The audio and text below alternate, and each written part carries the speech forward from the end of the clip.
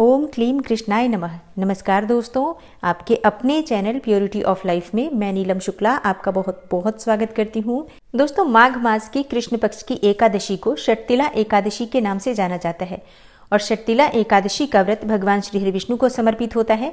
इस दिन व्रत धारण करने से और विधि विधान से भगवान श्री हरि विष्णु की पूजा करने से समस्त प्रकार के पाप कर्मों से मुक्ति मिलती है। समस्त प्रकार की मनोकामनाएँ पूर्ण होती हैं और भगवान श्री विष्णु की असीम कृपा से सभी प्रकार के सुखों का भोग भोगने के बाद मरणोपरांत वैकुंठ लोक की प्राप्ति होती है, मोक्ष की प्राप्ति होती है।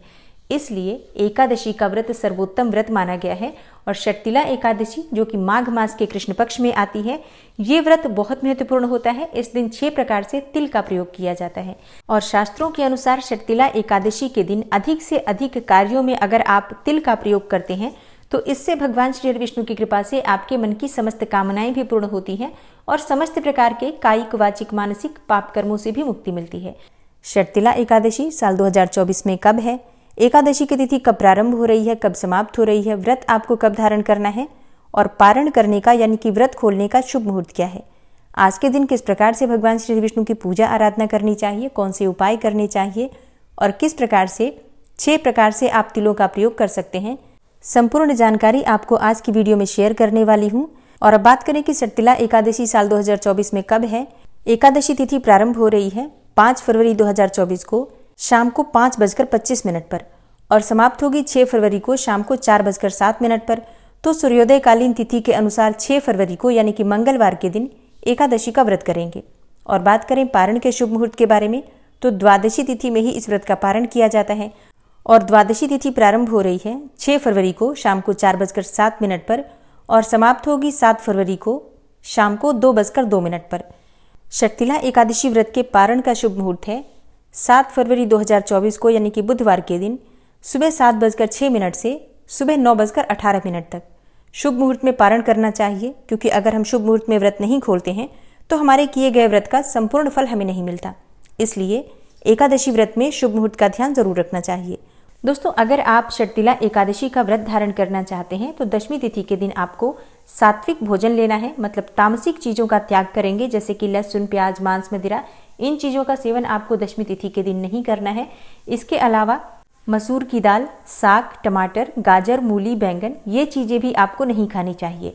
और हाँ दशमी तिथि के दिन आप चावल का सेवन भी नहीं करेंगे, क्योंकि आपने एकादशी का व्रत धारण करना है। और एकादशी का व्रत करने वाले को दशमी तिथि के दिन सूर्यास्त के बाद भोजन नहीं करना चाहिए मतलब अन्न और नमक का सेवन नहीं करना चाहिए। भूमि पर शयन करना चाहिए और ब्रह्मचर्य का पूर्ण रूप से पालन करना चाहिए। और एकादशी के दिन आप प्रातःकाल जल्दी उठेंगे स्नान इत्यादि करने के बाद सबसे पहले भगवान सूर्यदेव को जल अर्पित करेंगे, उसके बाद अपने घर के मंदिर में भगवान श्री विष्णु के सामने शुद्ध घी का एक दीपक प्रज्वलित कर लीजिए। अपने दाहिने हाथ में जल और पुष्प लेकर व्रत का संकल्प ले लीजिए कि आज आप शक्तिला एकादशी का व्रत धारण कर रहे हैं। अगर किसी मनोकामना के निमित्त आप ये व्रत धारण कर रहे हैं तो अपनी मनोकामना भगवान श्री विष्णु से कहिए और उनसे प्रार्थना कीजिए कि आपकी मनोकामना को पूर्ण करें और व्रत में पूजा पाठ में जाने अनजाने कोई गलती हो जाती है तो उन सभी चीज़ों के लिए क्षमा प्रार्थना कर लीजिए अब आपका व्रत प्रारंभ हो जाता है। इसके बाद आप विधि विधान से भगवान श्री विष्णु की पूजा करेंगे। जैसे कि अगर आपके पास भगवान श्री हरि विष्णु का विग्रह है, कोई मूर्ति है तो आप उनका अभिषेक करेंगे। और हाँ आज शक्तिला एकादशी है तो शक्तिला एकादशी के दिन जब हम स्नान करते हैं, तब भी जल में थोड़ा सा तिल मिलाकर ही स्नान करते हैं। और इसके साथ ही भगवान श्री विष्णु का जब आप अभिषेक करेंगे तो दूध या पंचामृत जिस भी चीज़ से आप अभिषेक कर रहे हैं या फिर जल से कर रहे हैं तो उसमें आप थोड़ा सा तिल अवश्य मिलाइए। और इसके बाद आप भगवान श्री विष्णु का अभिषेक कर लीजिए। भगवान श्री विष्णु को पीले वस्त्र अर्पित कीजिए, पीले पुष्प अर्पित कीजिए, पीले फलों का भोग आप उन्हें अर्पित कर सकते हैं। भगवान श्री विष्णु को भोग लगाते समय इस बात का ध्यान रखिए कि तुलसी का पत्ता उसमें अवश्य ही होना चाहिए। लेकिन तुलसी का पत्ता एकादशी तिथि के दिन नहीं तोड़ सकते हैं, इसलिए एक दिन पहले ही तोड़ कर रखिए। एकादशी के दिन तुलसी में जल भी अर्पित नहीं किया जाता है, क्योंकि धार्मिक मान्यता है कि एकादशी को माता तुलसी व्रत धारण करती हैं, निर्जला व्रत धारण करती हैं, इसलिए उनको जल नहीं अर्पित किया जाता। लेकिन शाम को दीपदान अवश्य करना चाहिए। शाम के समय अगर आप तुलसी में दीपदान करते हैं तो इससे घर में सुख समृद्धि आती है और सौभाग्य, संतान, विवाह कोई भी आपकी मनोकामना हो, निश्चित ही माँ तुलसी की पूजा से पूर्ण होती है। तो एकादशी के दिन तुलसी में जल नहीं अर्पित करेंगे, लेकिन दीपदान ज़रूर करेंगे। एकादशी के दिन भगवान श्री विष्णु की विधि विधान से पूजा करने के बाद उनकी आरती ज़रूर करनी चाहिए और ओम नमो भगवते वासुदेवाय नमः इस मंत्र का कम से कम 108 बार तुलसी की माला से या रुद्राक्ष की माला से जप करना चाहिए। और जो भक्त एकादशी का व्रत धारण करते हैं, आप चाहें तो निर्जल भी ये व्रत धारण कर सकते हैं या फिर फलाहार के द्वारा भी व्रत कर सकते हैं। अगर आप फलाहार से ये व्रत कर रहे हैं तो दिन में आप फलों का रस ले सकते हैं, जूस पी सकते हैं कोई भी फल खा सकते हैं, चाय पी सकते हैं मतलब जलाहार और फलाहार के द्वारा आप एकादशी का व्रत धारण कर सकते हैं। लेकिन बहुत से भक्त एकादशी का व्रत निर्जल भी धारण करते हैं। तो ये पूरी तरह से भक्तों की अपनी श्रद्धा, शक्ति और सामर्थ्य पर निर्भर करता है। अगर आप में शारीरिक क्षमता ना हो इतनी ज़्यादा तो आप फलाहार के द्वारा भी व्रत धारण कर सकते हैं। और शाम के समय विधि विधान से फिर से भगवान श्री विष्णु की पूजा आराधना करनी चाहिए। तो भगवान श्री विष्णु के सामने एक शुद्ध घी का अखंड दीपक प्रज्वलित कीजिए। क्योंकि धार्मिक शास्त्रों के अनुसार एकादशी की रात्रि में अगर भगवान श्री विष्णु के सामने अखंड दीपक प्रज्वलित करते हैं तो व्रत का संपूर्ण फल हमें प्राप्त होता है। और अगर आपकी कोई विशेष मनोकामना है, जैसे कि धन प्राप्ति की कामना हो या संतान प्राप्ति की कामना हो या फिर विवाह की कामना हो या दाम्पत्य जीवन को सुखमय बनाना चाहते हैं मतलब कोई भी आपकी मनोकामना हो, दीपक प्रज्वलित करते समय अपनी मनोकामना भगवान श्री विष्णु से आप कहते हैं तो निश्चित ही आपकी मनोकामना पूर्ण होती है। तो रात्रि में वैसे तो जागरण करने का विधान है। एकादशी की रात्रि में अगर जागरण किया जाता है तो इससे बहुत अधिक पुण्यफल प्राप्त होता है और समस्त प्रकार की मनोकामनाएँ भी पूर्ण होती हैं।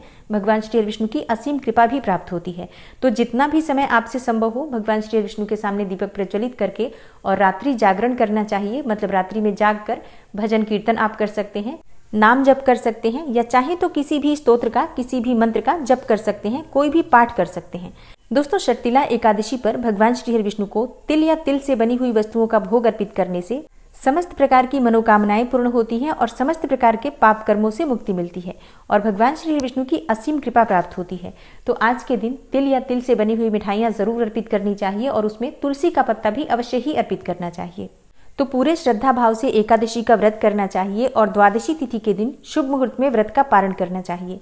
और हाँ अपना पारण करने से पहले, व्रत खोलने से पहले किसी ब्राह्मण को घर बुलाकर भोजन कराना चाहिए, ऐसा शास्त्रों का विधान है। लेकिन अगर किसी भी कारणवश आप किसी ब्राह्मण को घर बुलाकर भोजन नहीं करा सकते तो ब्राह्मण के निमित्त भोजन की कच्ची सामग्री, दान के स्वरूप निकालकर और दक्षिणा के कुछ पैसों के साथ आप किसी ब्राह्मण को किसी मंदिर में, किसी पुजारी को या धर्म स्थान में दान कर सकते हैं। उसके बाद शुभ मुहूर्त में आप अपना व्रत खोल सकते हैं। तो दोस्तों, उम्मीद करती हूँ कि शर्तिला एकादशी से संबंधित ये वीडियो आपके लिए अवश्य ही उपयोगी होगी और शर्तिला एकादशी व्रत की कथा आप आने वाली वीडियो में सुनेंगे। इसके साथ ही प्रदोष व्रत कब है, मौनी अमावस्या कब है, गुप्त नवरात्रि कब प्रारंभ हो रही है, ये सारी जानकारी आपको आने वाली वीडियो में मिलेगी। इसके अलावा भी अगर आप कोई वीडियो देखना चाहते हैं तो कमेंट बॉक्स में ज़रूर लिखिए। मिलती हूँ मैं आपसे अगली वीडियो में, तब तक के लिए नमस्कार।